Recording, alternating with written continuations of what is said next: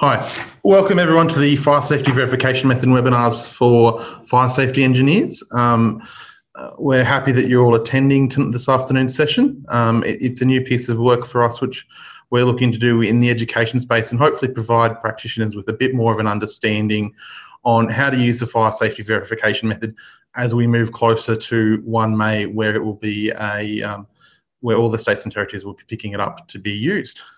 Um, so today's session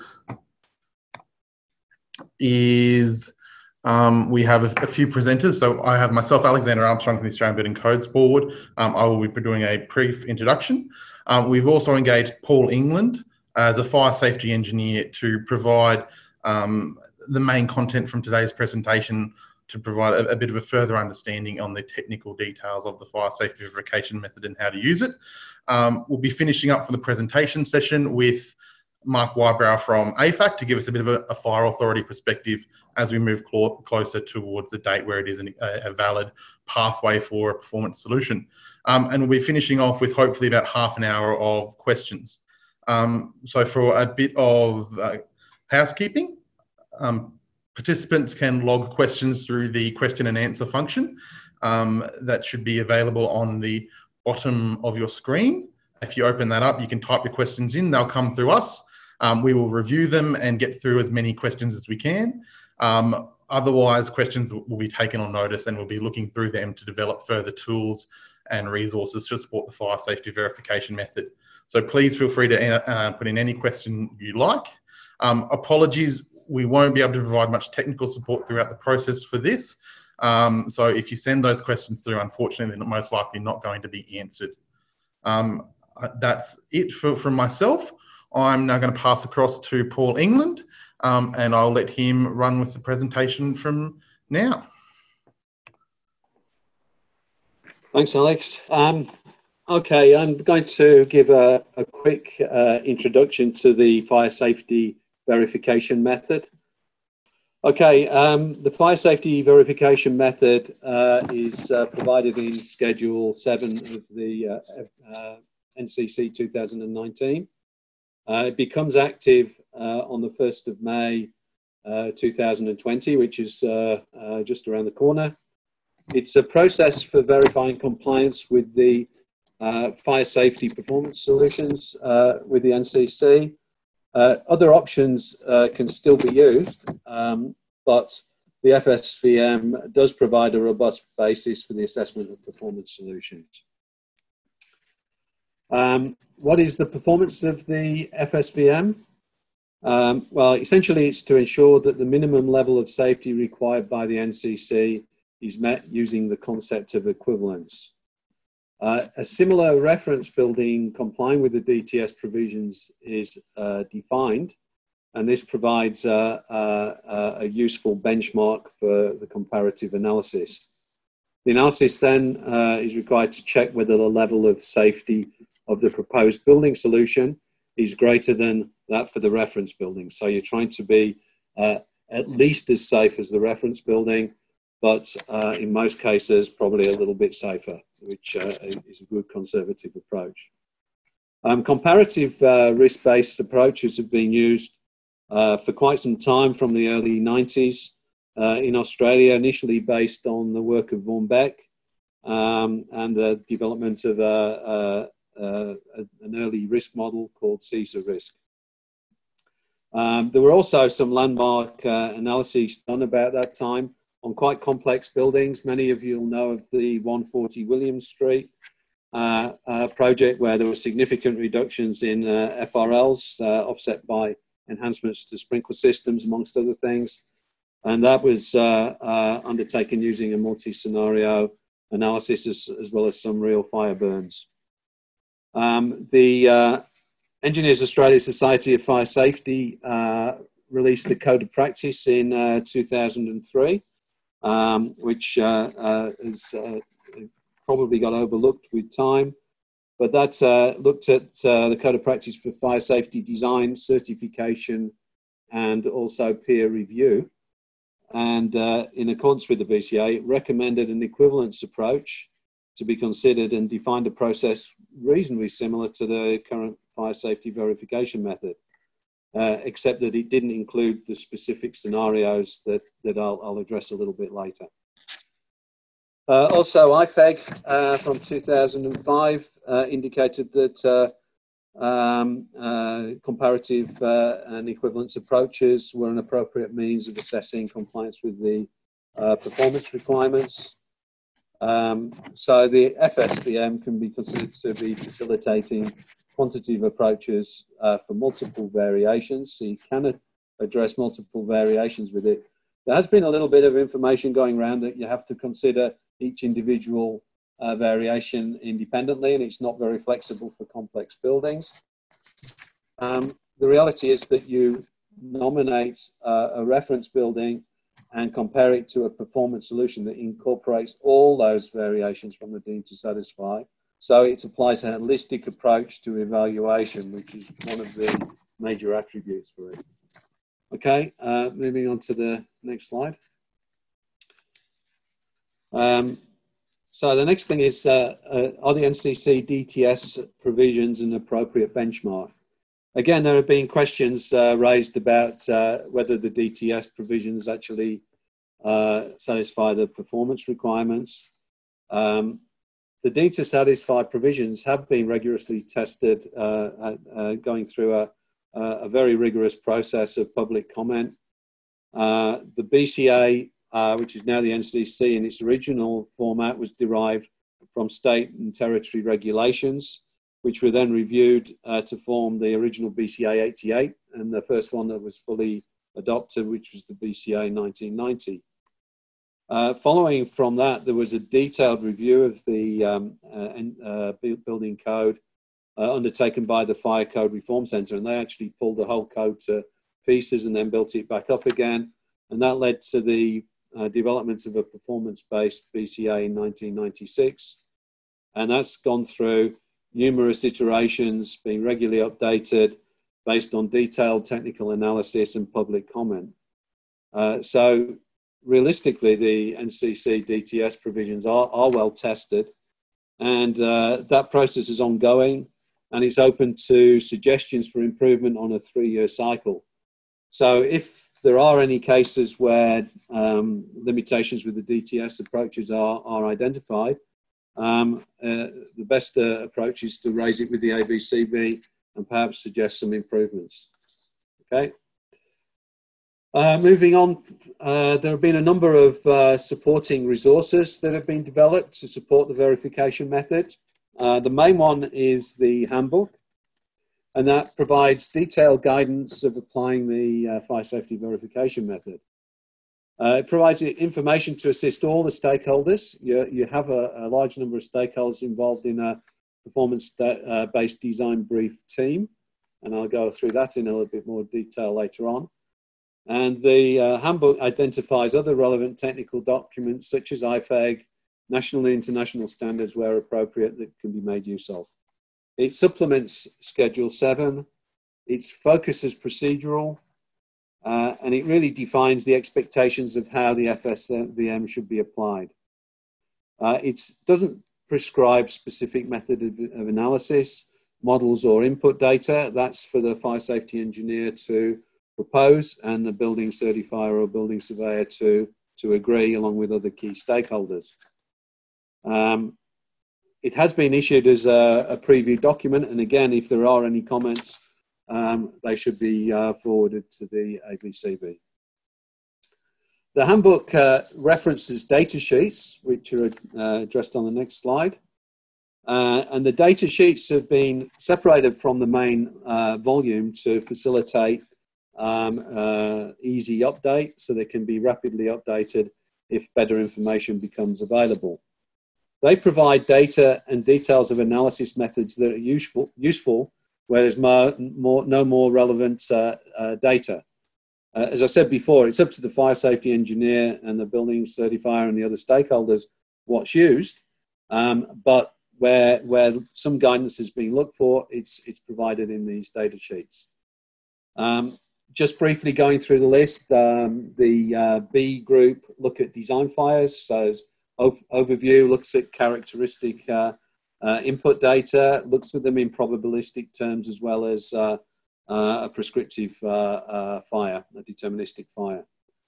Um, there are also a number of data sheets that look at the effectiveness of various fire protection systems. Th this is a, a, an issue where it's been identified that there, there is a lot of missing data uh, in, in Australia, very little data from Australia, but there, there are some sources and these have been put together with the available information. So, as, as an interim measure, these are useful uh, uh, resources, but again, if more information, better information is available, it can be used and they can be easily updated on an ongoing basis. So, if there is more information, uh, make it uh, available to, to the NCC. And finally, the D group of data sheets are all consolidated because they're also uh, uh, integrated and relate to each other. Um, but again, um, they can be updated uh, if necessary. Okay, uh, moving on to some of the highlights. Um, guidelines to uh, limit uh, DTS wrangling when defining the reference building. This is a, a quite a sensitive issue. Obviously, um, the, being able to compare a, a, performance solution against a deemed to satisfy solution is a, a very uh, positive thing and gives a, good sound benchmark. But the defining of the reference building can be very subjective. So a lot of effort has gone into defining some uh, principles that should be followed um, when defining the reference building.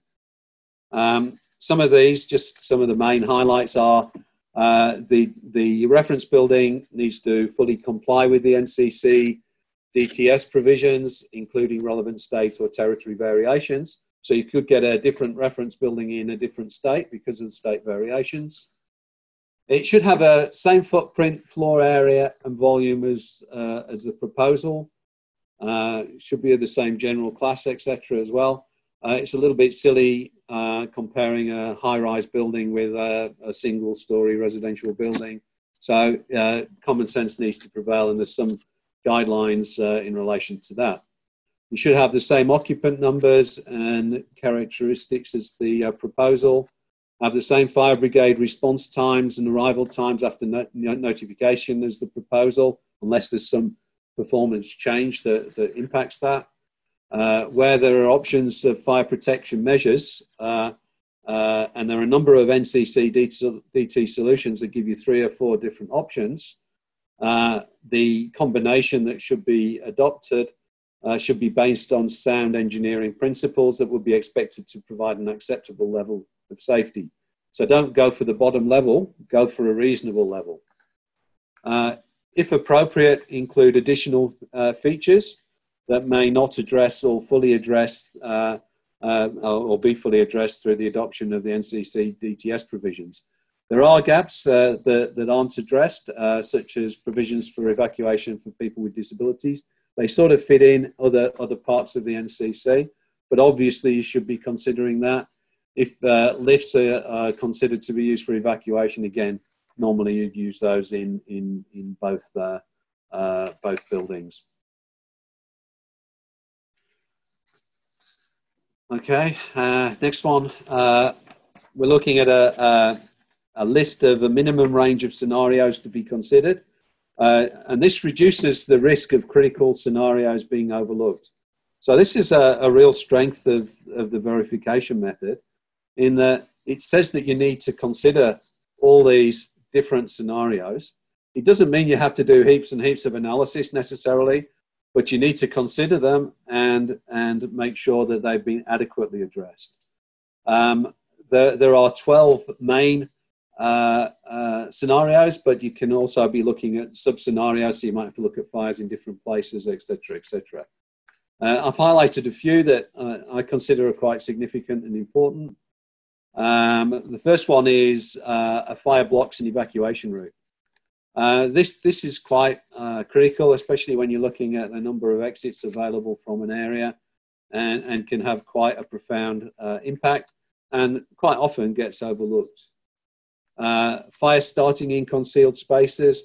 Again, these, these are not necessarily common, but, but a fire breaking out of a, uh, a concealed space can grow rapidly and present some, uh, some hazards. Um, fire brigade intervention, I'm not really going to go into this in too much detail because we've got fire brigade uh, presenting, but it's very important that the fire brigade intervention is considered, uh, not just in relation to evacuation, but also uh, provisions for suppression, and the fire brigade have to do their job safely. Uh, we've got a, a traditional shall we say, scenario, which is a challenging fire or worst credible scenario. These things are quite often uh, uh, addressed in, in uh, standard practice. Um, but then we move on to robustness check, which is looking at failure of, of some of the systems. Uh, again, this has tended to get overlooked in some cases and, and is very critical. Not all systems are equal. You can have some relatively high reliability systems, which are use uh, put automatic sprinkler systems in that class. When you start looking towards zone pressurization systems that are quite complex, typically, unless a lot of effort goes into them, the reliability of those is going to be much less. So these are sorts of things that the uh, fire safety verification method brings out. Okay, moving on to the next slide. Um, some of the uh, procedural requirements and other features that are in the um, uh, uh, verification method. Performance-based design brief is mandatory, should be done all the time anyway, but it, it spells that out. And some of the participants are mandated, client or client's representative, uh, architect or designer. Uh, these are selected on a case-by-case uh, uh, basis, but various specialist consultants, if you're looking at structures, if you're looking at mechanical services, they should really be involved. Fire brigade emergency services are, are, critical and have to be involved. And obviously, you need an appropriate authority, which is subject to state legislation at the stage they can be involved in a project, but you need a, a, a statutory building surveyor uh, or certifier, depending on the legislation. Uh, the performance based design brief team is involved in defining the reference building, and this is a key job. Uh, as I've mentioned before, a holistic approach is adopted. Uh, the building incorporating all variations is compared to the reference building rather than a series of individual variations being considered in isolation. So all those interactions uh, are looked at. Um, tenability criteria specified in uh, if you're using an ASET RSET analysis, which is helpful, although for a comparative analysis, those tenability criteria are often less, less critical. And uh, individual and societal risks are required to be considered. Um, moving on, um, I'm going to go through an example, but I'll just give you a, a very brief, simple definition of individual and societal risks. Uh, individual risk is a frequency at which an individual may sustain a given level, level of harm as a result of a building fire, in the context of this, fire. Societal risk is the frequency of n or more people uh, sustaining a given level of harm as a result of uh, a building fire. So we're looking at cases of uh, multi-fatality uh, uh, fires, and these are more sensitive uh, in, to the community in a large number of ways. Okay, moving on. Okay, um, I'm just going to go through an example now, which will be a, a little involved, but it's it's running through a case of uh, looking at extended travel distance, which is a good example of how the F- FSVM identifies issues that, that can get missed.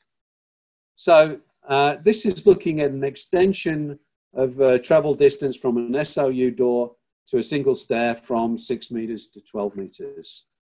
So if you follow the, the principles of the VS uh, uh, FSVM, uh, the reference building should have the same footprint of the building.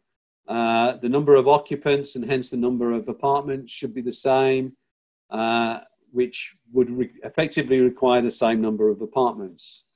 So this yields a, a reference building uh, which would require two exits. So you've got the same number of apartments, but uh, to comply with a six meter travel distance, uh, you've got two exits and you've effectively doubled the number of apartments and the number of, number of occupants.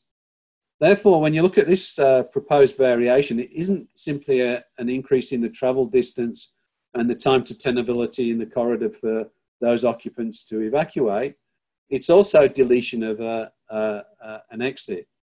And that will tend to have a significant impact, particularly on the blocked exit scenario. So uh, it's uh, appropriate to expect a detailed analysis to evaluate these enhancements for fire safety uh, designed to address the increased risk of deleting the exit. So it's not just a simple analysis that, that you might think on, on the benefit uh, on, on face value. So moving to the next slide. Um, but what, what if um, uh, you look at a, a, a, single stair and you've just got an extended travel distance? Um, well, this is an interesting case uh, because uh, when, when you look at that, what, what you actually uh, do is you increase the number of uh, uh, apartments say, served by a single stair. So instead of the previous case where you had the same number of SOUs, you've now uh, doubled the SOUs served by that single stair. And you've doubled the number of occupants at risk. So, what that has is an effect of uh, basically um, doubling the risk of ignition and also doubling the risk of uh, uh, or the number of occupants exposed. And uh, Grunesco uh, um, uh, is an example, and you can download this from the web. It's openly available. Just looked at a single floor, but he came up with an estimate of the increased risk of an increase in risk of 328%, which is in the right ballpark just by back of the envelope calculations. So again, if, if you did use this method, I, I, emphasize this approach of defining a reference building is not permitted uh, by, by the uh, handbook. But if you did use this approach, you'd have to be looking at reducing the risk by about 400% to, to get equivalence. Um, these, these are very interesting uh, aspects that are looked at. Now, if you look at it from, and, and with this, if you applied the fire um, uh, blocking an exit route.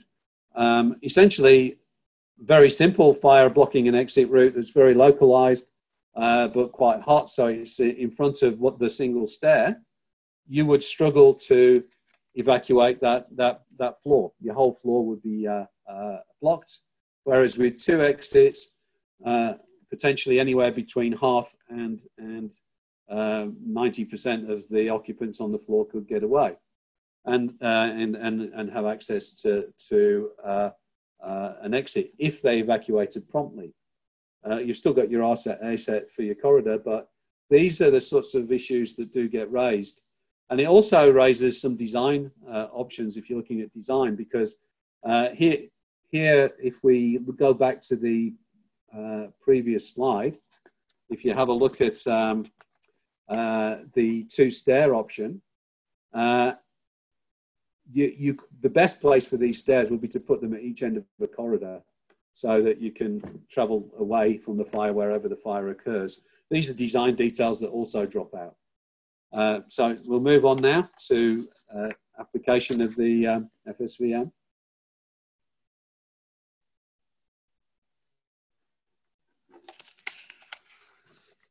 Okay, um, I've uh, gone into the overall construction process here to see to show how the verification method meshes with the design process. Um, you need to be uh, aware that the design process is, is much greater uh, than just looking at the NCC. So, ideally, a fire safety engineer should be involved from day one and uh, basically looking at working with the stakeholders at, uh, to, to borrow some terminology from the um, uh, uh, Warren Centre latest studies, to derive some drivers and constraints from the stakeholders. And the NCC drivers and constraints typically are safety, health and amenity, accessibility, sustainability, and protection of other property to uh, a limited extent. When you look at the broader design process, you're looking at usability, aesthetics, costs, speed of construction, building flexibility, operational continuity, corporate image, environmental protection, heritage protection, workplace health and safety, other legislation, and potentially some stakeholders might want enhanced NCC uh, drivers as well. So the role of a designer is to look at all these issues and come up with a proposed building design. Once that proposed building design uh, uh, has been identified, then there is a process of checking or verifying compliance with uh, the NCC, obviously, but all the other drivers and, and constraints as well. But here I'm focusing on the NCC and the, uh, and the fire safety verification method. So we'll move on now. Um, the next is selection of assessment method. Um, so the first thing that happens is that the fire safety um, uh, engineer would check compliance with the deemed to satisfy. And uh, if the deemed to satisfy provisions are satisfied, there would be no need to consider a, a, a performance solution. Uh, the building surveyor also needs to check that at this stage, the, uh, and uh, that's a, a, key role for the building surveyor. If that DTS uh, solution, uh, or if it doesn't comply with the DTS requirements, then it's got to be a performance solution. Uh, the performance solution could be the FSVM if the method's applicable, which we'll be looking at later. But other NCC assessment methods that are permitted could also be considered as well. Um, just to note, going back to the design process, um, a statutory uh, building surveyor in a number of states has a very limited role in relation to design. They cannot have design input because of the risk of uh, a conflict of interest. So the building surveyor needs to be a little bit standoffish in these uh, in these roles, but he should be uh, at least able to give some input if the um, uh, fire safety engineer claims that the deemed to satisfy provisions have been satisfied. And he should also be looking very carefully at the selection of the verification method that, or, or assessment methods that are being used. Okay, next one. Okay, so assuming you go on for the uh, fire safety verification method, um, you will assemble a performance-based design brief uh, team and the core sta- stakeholders in that, as we mentioned before, the fire safety engineer, building surveyor, certifier, statutory, uh, emergency services, fire brigade, client owner or a delegate, and architect, uh, building designer. There should be a description of the proposed building solution and an implementation plan. Impl- considering implementation is quite critical because you have to be able to uh, uh, consider the reliability system. And if your implementation plan doesn't consider all the necessary checks and balances, you should be dropping the reliability of some of the systems. So that's quite an important stage. Uh, the next stage is to look at a stakeholder analysis and selection of other stakeholders. Um, depending on, on the extent of the variations uh, from the deemed to satisfy, could be looking at a range of fire safety practitioners that could involve emergency management consultants, active and passive fire protection system designers, suppliers, installers, various specialist uh, consultants, and I've in- included a consulting building surveyor on this list because uh, if you need that uh, detailed input, you can't be using the the um, statutory building surveyor for that. So uh, hiring another uh, consultant may be appropriate material suppliers, peer reviewer if there's one required, tenants representatives, building operation reps if they're available, a builder insurer. So that could be quite a long list.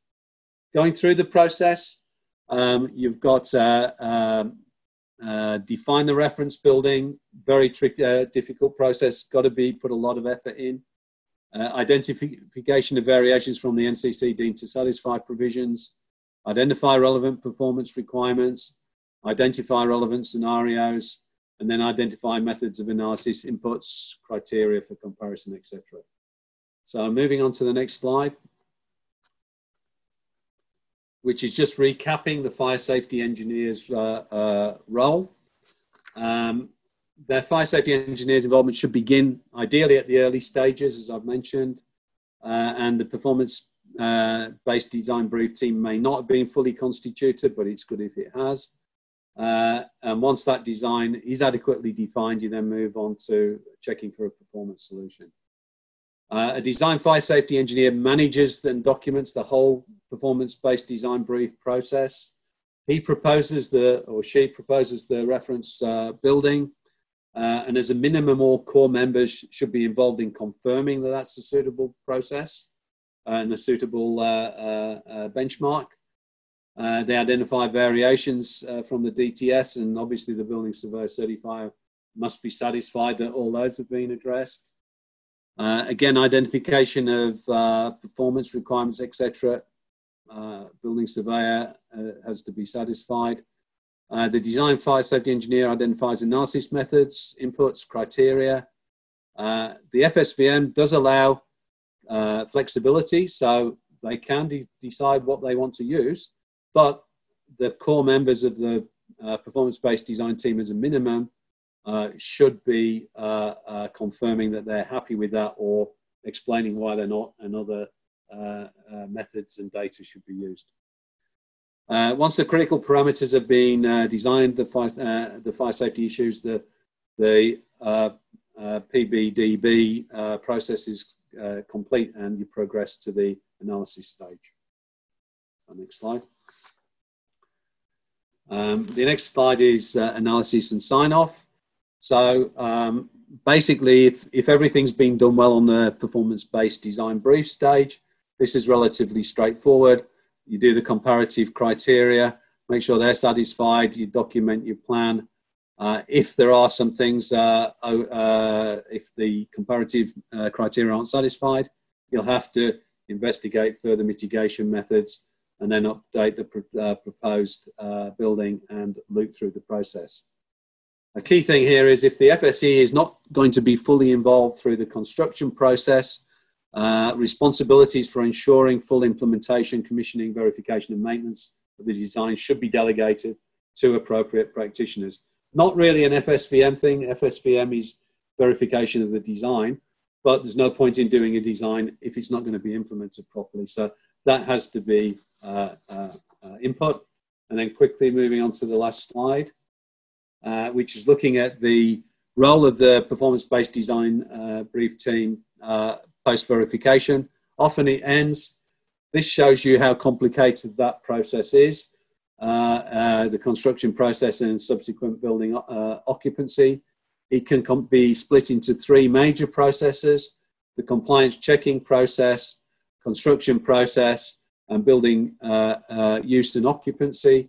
Um, essentially, if you follow this, this chart in your own time, you'll see that uh, once uh, uh, the compliance of the verification method has been assessed, uh, building approvals granted by the building uh, uh, sur surveyor or certifier, that then goes through to the builder who can start work. They rely heavily on a product supply chain. All that product supply chain is involved in providing documentary evidence and evidence that installation has been undertaken properly. That's then overviewed by a building surveyor uh, uh, looking at auditing that process, who has to decide whether the building is fit for occupation, which isn't necessarily compliance. So there's a whole issue there that needs to be uh, addressed. And uh, once the building surveyor is uh, satisfied, he can issue an occupancy permit and building documentation should be issued to the owners that indicate how the systems operate and how they should be maintained and that then spreads through to the uh, building use and uh, occupation. And I'd better stop there. I've run over a couple of minutes, so my apologies. Okay, thank you. Thanks for that, Paul. Um, now I will pass over to Mark Whybro from AFAC, who will provide a bit of the Fire Authority's perspective on the fire safety verification method as uh, we progress closer to the 1 May adoption date. Okay, Thank you, Alex, and thank you to the Australian Building Codes Board for allowing me to speak on behalf of AFAC. AFAC is the National Council for Fire and Emergency Services. My role in AFAC is the chair of the Built Environment Technical Group. So we're looking at fire services regulatory roles in the built environment. Um, I hope my points don't cover too many of Paul's, but there might be a bit of repetition there. Um, so we know the NCC uh, will now have a requirement uh, that the solution provided by the FSVM must now be compared the same type of building with DTS provisions. Um, the FSVM must be equal or safer to, uh, or safer than the DTS result. Um, we see that as a very good thing. Um, fire services, I suppose, typically are quite conservative. Um, we see the best and the worst of buildings, I suppose, and um, DTS is the recipe by which we've grown up with. Um, we do appreciate that this will uh, require additional work and reviewing by practitioners. Um, but uh, Paul mentioned before the work being done by uh, the Warren Centre in terms of professionalising fire safety engineering, and that's something that both Fire and Rescue New South Wales and AFAC support. Um, not only for the industry, but certainly for the fire services. Uh, we need to come up to speed as well. We need to have the same comparable level of competence uh, as the rest of the industry to enable us to contribute to safer buildings. Um, uh, any design using the, the verification method will still have to go through the same approvals processes that now exist for any performance solution. It's not an automatic acceptance and it does not have the same acceptance as, say, a CodeMark certificate. Um, it's a requirement of the verification method to use all sections of the VM, uh, and that if any stakeholder has a contrary view, and that includes emergency services, or does not approve of the design or process, uh, then that must be documented and attached to the proposal when submitted for approval. Um, another piece of work that's being undertaken by the Australian Building Codes Board is the review of IFEG, and, and AFAC welcomes that. Um, and we'll be uh, collaborating closely uh, with the board in that review. Um, at the same time, AFAC is currently reviewing its um, fire brigade intervention model, uh, the FBIM, and this is scheduled to be ready for release um, with the FSVM implementation uh, on the 1st of May. Um, the fire services verification method is supported by all of the AFAC agencies, and although during the process of getting this into the NCC, there were comments in relation to some of the data, some of the processes. AFAC believes that with good faith by all parties, uh, any varying opinions will be sorted out in the fire engineering brief process. The fire services are a key stakeholder and are expecting to be involved, as per the NCC provisions, and the extent of the fire services involvement will be decided once a proposal is reviewed. Um, fire services understand that the use of the verification method uh, is not mandatory and there are other methodologies and approaches to show compliance with the NCC performance provisions. And regardless of the methodology used, fire services are expecting to be involved in that consultation. Again, work collaboratively to ensure the safety of building. Um, and that's important. It's, it's, it's, the safety of the occupants of the buildings, but um, one of the things that I like to stress is that uh, the occupants do include firefighters. Um, when an emergency occurs, we become an occupant of the building. Uh, and one of the great things to come out of the VM, uh, and one of the, uh, I suppose, determining factors in AFAC support for the VM was around the fact that for the first time we were being considered um, as an occupant of the building in scenarios such as the catastrophic failure. Number nine. Um, currently, the fire services around Australia and New Zealand are reviewing their approach to the regulatory uh, role as a result of the FSVM, but as well as fulfilling the recommendations of the Shergold Weir report. Um, certainly, this will be focusing on the service delivery, and we're aiming for a much more nationally consistent approach. And due to the different regulatory environments under which we operate at the state and territory level, um, there will understandably be some differences, but we see the FSVM as a means of ensuring that consistency because suddenly some states who, who may not have had a great regulatory input before uh, will become a key stakeholder and, and, need to be consulted with. Um, I think it's a timely, uh, fire services generally, I think it's a timely um, addition to the NCC. I mean, as mentioned before, performance has been in the NCC or the BCA uh, for now, well, we're in our 25th year. Um, up until now, there may have been um, the best and the worst of, of performance solutions. uh, I see the FSVM as being one of those things that lifts the bar for all of us, including fire services. And that's it from me. Wonderful. Thank you for that, Mark. Um, we'll now move on to the question and answer section of today's presentation. Um, I will work through these as quickly as I can and, and, answer these as succinctly as I can so we can get through as many questions as we can in the last 20 minutes or so from today's presentation. So I will start off with a question from, which I will answer on behalf of the ABCB first off, which is, the question is, who is considered as an expert to provide expert judgment as an assessment method in accordance with A2.2, uh, RPEQ, PhD, etc. Um, so, look, if you're after further advice on um, who is considered an expert or an expert judgment, first off, we have a, an assessment methods. So, evidence of suitability handbook, which is available on our website, which goes through and discusses all of the requirements for evidence of suitability, which quite covers um, these sorts of areas well, as well as then looking through the code for the definitions of expert judgment, expert professional engineer, and the like. They will then also provide further, further guidance on this. And then ultimately, it is the appropriate authorities, whoever that may, that may be in the jurisdiction you're working in, um, responsibility then to provide further advice or input on who is the appropriate expert and what that expert judgment is. Um, Paul, I'd like to direct the next question to yourself which is does the ceiling height in the DTS reference design need to be the same as the proposed building, or can the ceiling height be considered a design feature?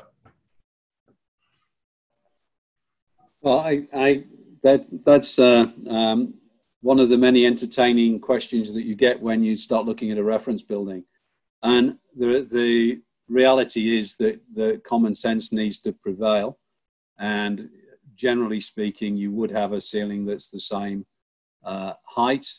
Um, if you wish to vary that and then claim that, that your, your building uh, is uh, okay um, um, because of the increased uh, uh, opportunity to evacuate the building, um, that's not quite the way equivalence to uh, a danger satisfied building should work because it, you, are effectively defining a reference building that's varied from your building considerably, and therefore um, trying to utilize that that worst performance from your reference building to get your um, uh, performance-based design over the line. So a, a, level of conservatism is is appropriate. Like all these things, under the right circumstances, you could see something, but the the handbook has been quite prescriptive on these things because of, of the sorts of uh, extreme interpretations that, that could be made. Uh, I used an example earlier of a, a high rise versus a, a, domestic dwelling. It's, it's a matter of realistically, your building should be the same. Um, you'd have to have a very, very good reason for varying that ceiling height, uh, and, and that being part of your fire safety strategy. And all your stakeholders would have to be in agreement before you could do it, uh, before you could use it. So I, I can't give you a, a fixed yes or no because it depends on the circumstances. I would say 90% of the time, the answer might be no.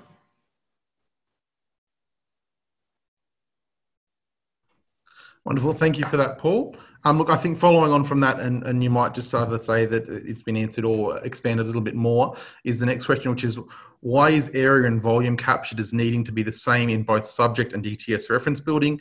This results in a scenario where larger and higher smoke reservoirs cannot be used to justify potentially slightly longer travel, as an example. Uh, okay, um, I, I, don't know whether I, my presentation on the um, uh, on the single stair issue uh, and the uh, extended travel distance uh, uh, necessarily got all this information across. But essentially, you, you when you increase the length of a corridor, obviously you've increased the volume. And you know, if you do a, a simple RSET ASET analysis, you'll probably get an extension in in in time, and you can argue that that might enable you to travel that extended travel distance. But the issue is when you look at, at the, the applying it to the same volume of, of, of building, you identify that a stair's been uh, uh, uh, deleted. which is an additional var- variation that wouldn't have been picked by that simple statement. This is one of the real strengths of, of the verification method. And if you think that that's being unfair and you want to vary the size of your building and the number of occupants, then your risk of ignition and your number of people exposed varies considerably. So you've got to be very careful with these things. And the, the simplest way and the safest way is to have the same volume, the same building. You would de- design that as complying with the deemed to satisfy and then compare it.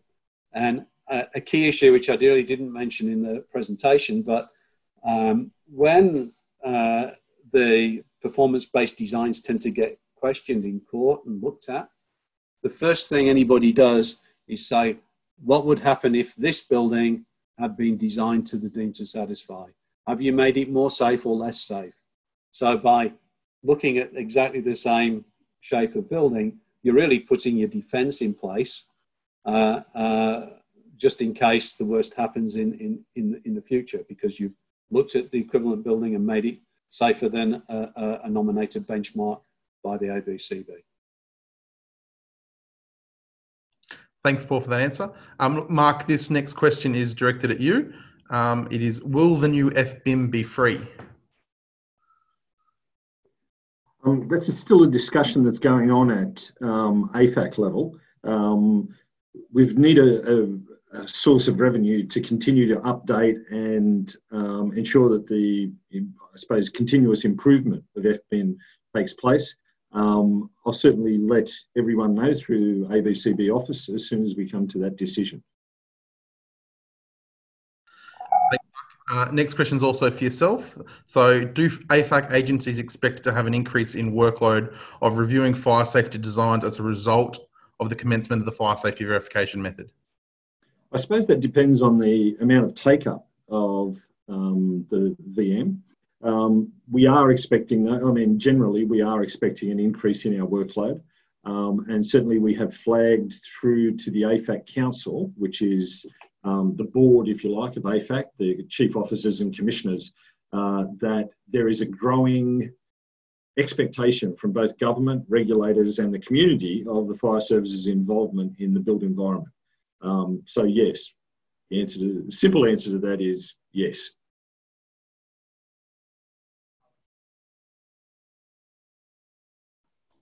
Thanks, Mark. Uh, appreciate that answer. Um, next question. What options does a client have if the building surveyor or fire service in their area are requiring fire safety verification method to be used for their building? What if the client disagrees and wants to demonstrate compliance via straight performance solution instead? Um, look, I might open that up to both Paul and, and Mark just to provide a quick opinion on that question. Um, we'll let Mark go first, I think. I prefer if Paul went first. Um, so just to get it right, this is the what options does a client have if the building surveyor? Um, what if the client disagrees and wants to demonstrate compliance for a straightforward? Um, I suppose we'll have to test that when it comes in. Um, at this stage, certainly um, the two paths to compliance, one of which we don't see, which is the deemed to satisfy. Um, and uh, the VM brings into play uh, a more, I suppose, a, better rigor around um, the proof, if you like, uh, that a, a, building complies with the safety requirements of the NCC. So um, I think it'll be a good discussion between fire services and their building and the building surveyor.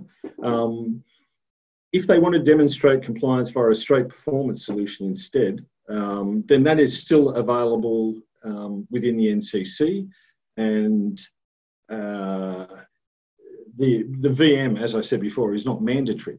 So there are other paths to proving um, that a building is safe, a design is safe. Over to Paul. Yeah, this is an interesting uh, question, and um, uh, I, I, guess the first thing I've got to do is talk about a, a profession that I'm not uh, part of. Um, and the first thing is that the building surveyor represents the public interest. And the first thing they've got to decide is is it in the public interest to uh, compare uh, a design against uh, deemed to satisfy, which has gone through various, um, uh, the to satisfy provisions has gone through various checks and balances, and um, uh, then decide what is the most appropriate for the particular application. So that's the first decision that the, that ends up being made in a, a circumstances when a client insists on on uh, going down a particular path. Um, the next one uh, would be what the fire safety engineer has to say, and again, uh, uh, engineers are uh, governed by a code of ethics, and they have to act in the public interest as well. So the same questions would would get asked.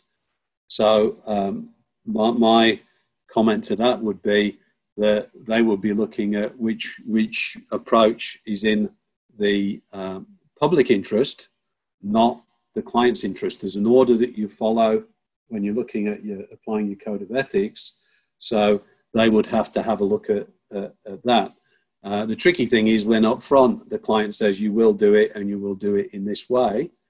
Um, but again, you know, you can do something that looks very much like a, a, fire safety verification method, and it's a straight comparison anyway, which is a, an accepted fire safety engineering approach and has always been. So you can do the same scenarios, you can use the same comparative benchmark. So, you know, there is a bit of flexibility. If if your client's saying you should do it in a certain way, you've got to ask the question: Why are they asking you that question, and what expertise do they have? And you, you go from there based on on the needs of the problem. I don't know whether that's answered it fully, but that's my best shot. Thanks, Paul. Appreciate that. Uh, next question's for Mark. How will the how will Fire and Rescue New South Wales or or the other fire authorities across the country be consulted on the initial proposal of the fire safety verification method? Thank you. Um, I hope as early as possible. Um, we are a key stakeholder, and I think it would be in everyone's benefit for both um, a designer, a proponent to share their ideas with the fire service, but also for the fire service to set expectations about how we view the safety of the building. So I'm not sure how that will work in process in terms of you know submission of, of documentation or whether it is just sit down and share information with each other that helps guide um, the path to a safer building. Uh, thanks, Mark. Uh, Paul, I think this one's for yourself. Does table CV1 indicate that a building set out at a distance prescribed in the table is capable of withstanding the respective heat flux, or does it imply that the building is required to withstand the heat flux at the pre- prescribed distance? Okay.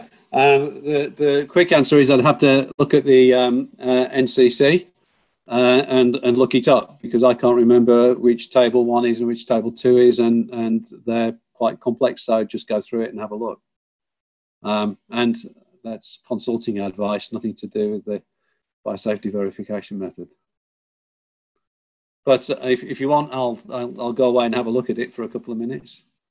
Uh, no, look, I think we'll move on to the next question, Paul, which is Is the use of the fire safety VM only for comparative assessments and not absolute assessments? Um, yes, it is only for uh, comparative assessments. That doesn't mean that some of the content in the handbook and some of the content in the data sheets uh, wouldn't be useful for for uh, uh, other forms of analysis, but the, the verification method is a comparative verification method. Um, and look, I think this will be our final question. Um, look, we'll also be reviewing these other questions that, that haven't been answered and um, letting them inform our other support material that we're looking to develop. Um, so apologies if we haven't answered your question yet, but don't threat. Um, the education team will be reviewing them and looking for gaps in our resources. Um, so this question is, please confirm the DTS comparisons being discussed are all based on the handbook content and not actually written within the BCA 2019 Schedule 7. Um, look, I think I'll, I'll, provide an ABCB response from that, which is um, the DTS comparison or the reference building design is something that, that, that is set within the assessment methods um, of the NCC f- for quite a while now. Um, and Schedule 7 through itself is the process for developing that reference building design um, with further guidance provided within that handbook. Um, I, I, think they've captured that probably pretty well, Paul, but uh, is there anything else you wish to add? Um, I, no, I think you've answered it well. The, the issue is that the, the, the verification method is a process. The handbook is essentially a process which fills in some of the spaces and gives advice on how you would apply the, the uh, or should apply the FSVM. And you go through your checks and balances with your uh, performance-based design brief team. So uh, essentially, yeah, I'm in line with what, what you said. I don't know whether uh, Mark's got anything else to add.